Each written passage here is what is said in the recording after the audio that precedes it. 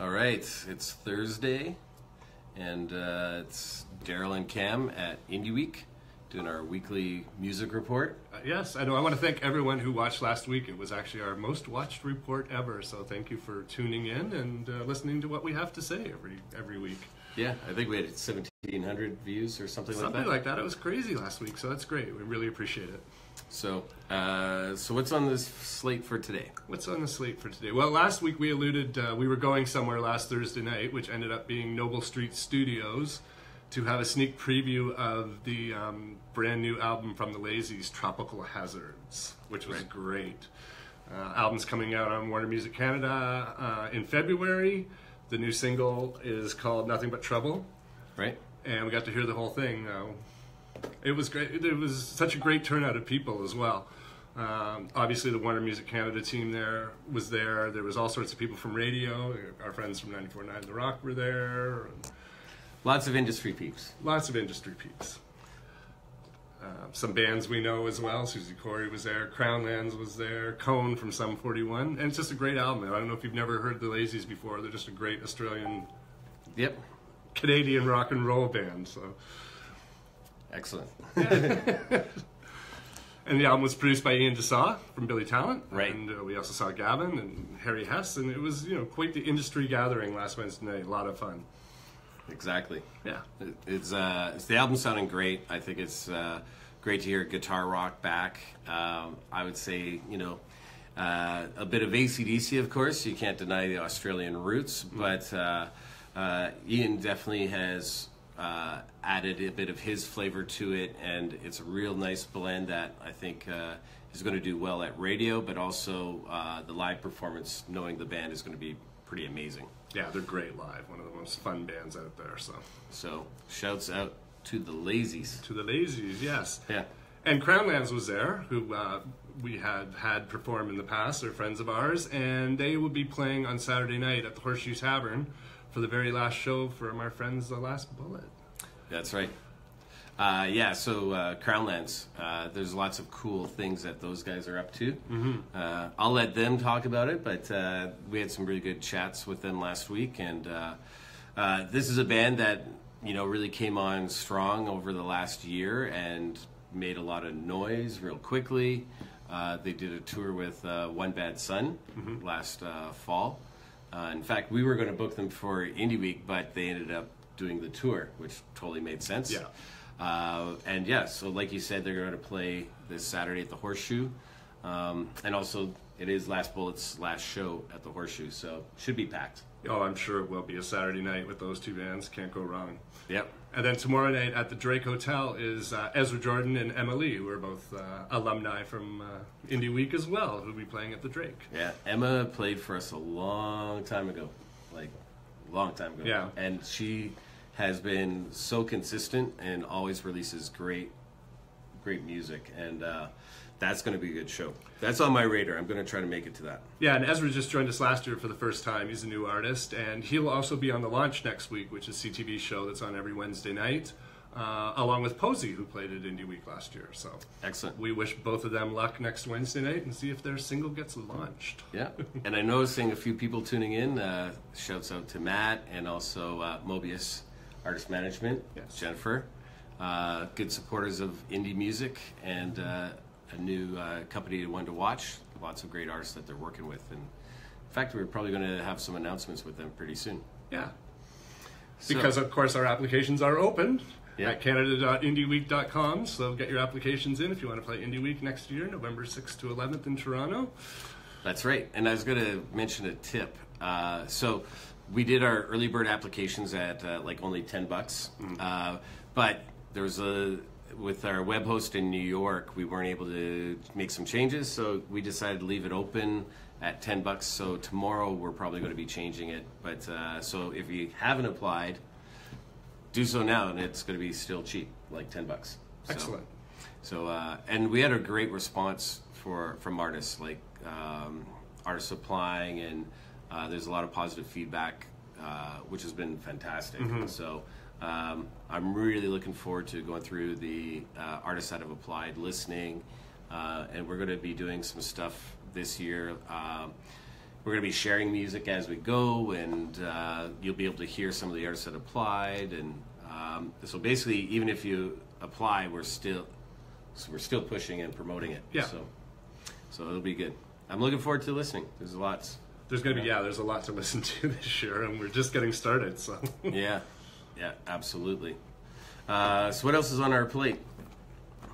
Yeah, I can't read writing. oh, I was going to say we're also going to be back in Manchester this year too. Ah, yes. so uh, that's the other thing too is, oh, shout out to Alex uh, and Steve, uh, cool people that are watching right now. Um, so uh, Indie Week UK applications are going to launch uh, basically uh, tomorrow at early bird pricing, ten bucks as well. Um, and the website is uk.indieweek.com. So tomorrow, check it out, and you'll be able to apply there. And, and that's for European and UK bands. That's right. Yeah. Yes. So that's one thing. Indie Week UK um, is focused more locally. Uh, there's like this whole Brexit thing happening. So uh, we've decided to this year it's going to be focused mostly on UK and European acts. So, uh, but yeah, that launches tomorrow. Everywhere else in the world, apply to Indie Week Canada. Exactly.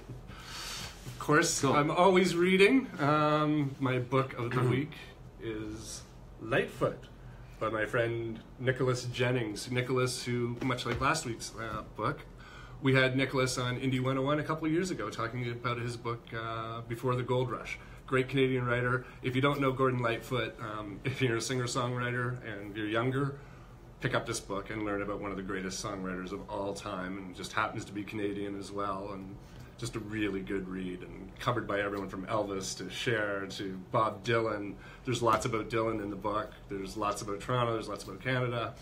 Nick is a great writer. Yeah. Um, and the kind of guest that we like to have at Indie 101 as well, who can talk about Canadian music history. So I went out and bought it, Nick, over Christmas. I got a gift card and I found a signed copy as well. So I was really thrilled about that. So that was our book of the week this week. Awesome. Yeah.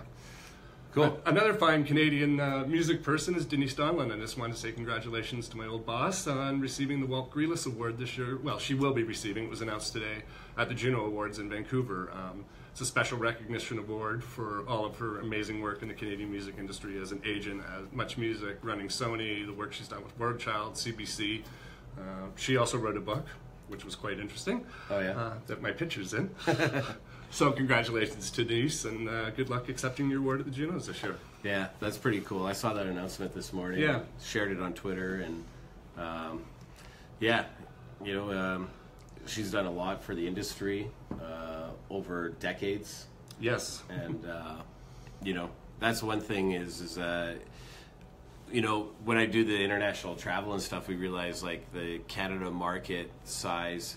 You know, everybody knows everybody. It's a very small world, and uh, really, we need to support each other and, and make this uh, a strong industry within the market, like the global market.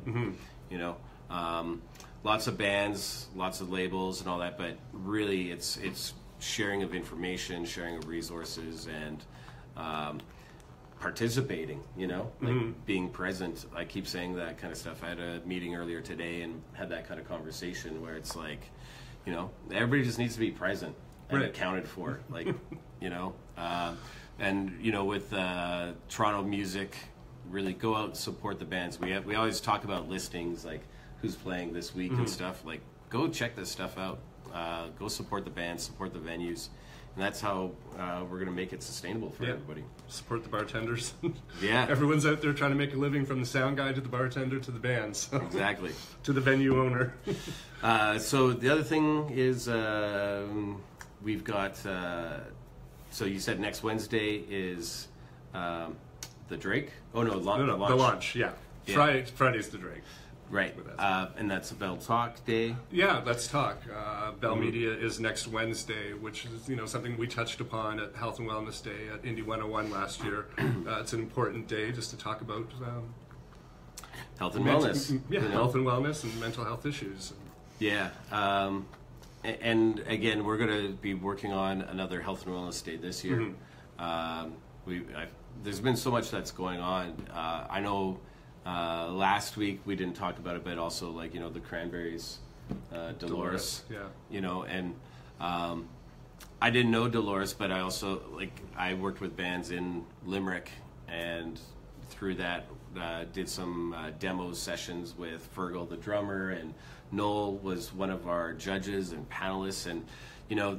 Uh, it just does show like it is a small world and we got to take care of each other you know and, Mm-hmm. and I, I really feel for them uh, uh, limerick is such a small knit community like everybody knows everybody um, you know walter mitty and the realists was another band that came over from ireland played for us and you worked with hmm And they were You know? produced by Fergal, if I'm not mistaken. Ex- Yeah. exactly so so yeah next wednesday's bell let's talk and uh, let let's talk Yeah. you know so maybe we'll do a, a video that day too Why not? we'll see Um, once again, in conjunction with the Toronto Black Film Festival, RIF, which is Real Indie Film Festival, which is a sister of Indie Week or part of the family, Right. um, we are co-presenting a film called Chasing the Blues on February 17th at 7 p.m. at the Carlton Cinema. The festival runs February 14th to 17th. Uh, great black films from around the world. This one is sort of about a haunted 30s blues record. It's called Chasing the Blues. And right Jon Lovitz is in it. oh i saw that yeah i saw saw the bit of the pre-screening and stuff of it so Yeah, so we'll be down there checking that out on uh, February 17th at the Carlton. Right, and I just got to say shout out to Brian Fontes. Uh, Brian, we mentioned your show already, so rewind after the fact. Uh, and Patrick from uh, overseas as well is watching. Davey Sage, uh, shout out to you guys. Um, and then uh, some more sort of bad news. Yeah, Right, and so- uh, this affected a lot of people over in the, in the UK and Manchester with Marky Smith from The Fall, who you might not know or know their music, but just an absolute, you know, they put 32 records out The Fall, and Marky was the only Wow. only member who was constant through the whole thing. Really? Yeah. Um, he passed away yesterday, but one of those bands, like you have to do your history as a, as a, as a young band. You need to know about The Fall and Pere Ubu and Velvet Underground and the bands that opened doors for bands today. Right. And you know, go go on Spotify, go somewhere and listen to the greatest hits, and just learn a little bit about you know what came before and what what your influences. Maybe the bands that influenced you were influenced by them. Right. So you need to know a little bit about everything. it History. certainly helps. Yeah, Right. history is very important. Cool. Um, and I, if I can, I'll just sort of add some extra stuff. Um, so I was just in South America earlier. Well, I guess not earlier this year, last year now already, like November, December. Um, and one of the things that has come up in a lot of conversations is about part, that participation and being present and active.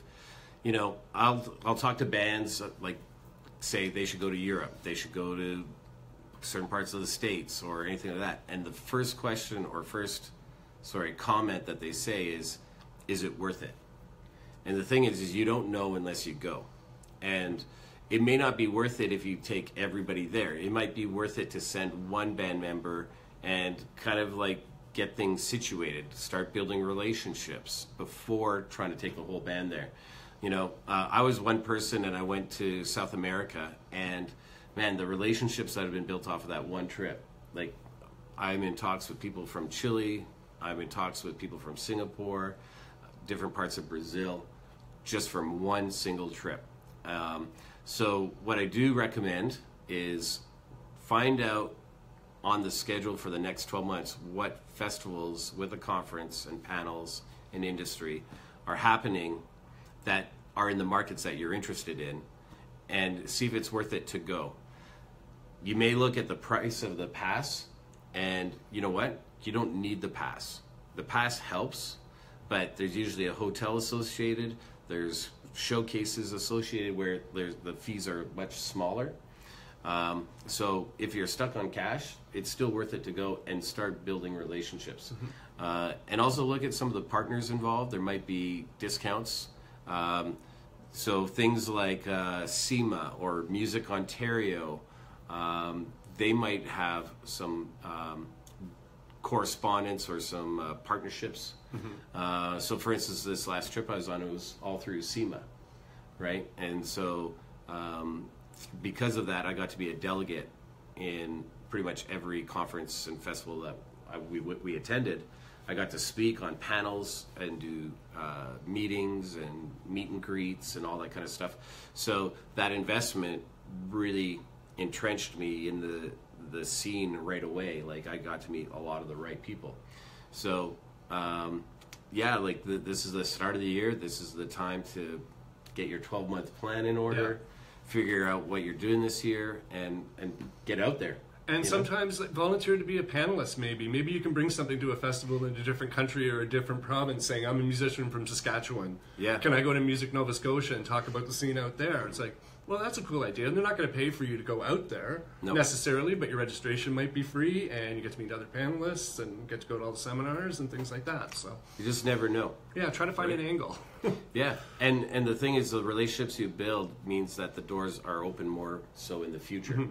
So uh, don't necessarily think that there's going to be instant results, but think that it's building on what you want to do in the future. So, uh, and then plus two, take an extra couple days and have a holiday. Yeah. It also looks good in your application if your band played or attended another festival and you put it in your application. I look at it or Darryl looks at it. It's like, oh, they went to this festival here or there. They're obviously committed. They they they want to be in the game, so Yeah. it looks good. and also like with agents it, it's like you've traveled you know how to travel Yeah. um, you know you're serious so um, anyways that's my two cents this week about trying to give some advice Yeah. um, you know I, I just think that there's so much opportunity there's a festival for every genre so that means you could be having a hard time locally building an audience but there's an audience waiting somewhere else and it's an easier road if you go to them sometimes as opposed to trying to bring them to you Yeah. And you'll Yeah. get out as, as much as you put in. yeah attend everything go to everything and meet everybody Yeah. that you can um, you know it's, I, don't, I, I, I see so many artists that just unfortunately don't go to stuff and i'm a big advocate of, of participating you know like I, I try my best to go out to stuff um, uh, especially industry related now um, and you start seeing the same people Yeah. over and over again and that's how you build a relationship so and they're more willing to help you if they see you over and over again Yeah, they realize you're serious as well, and and just, they just get to know who you are. So yeah absolutely Yeah. so anyways just a little yeah, little Tidbit. little tip. All right, so um, that's it for this week. Uh, we're going to be back next Thursday, but uh, stay tuned Wednesday. I think we might try to do something on Yeah. uh, Bell Let's Talk. Um, there's lots of conversation to be had over that topic. Uh, and in the meantime, go out support live music. There's lots of stuff happening in your city. Yes. All right, talk Thanks. to you soon.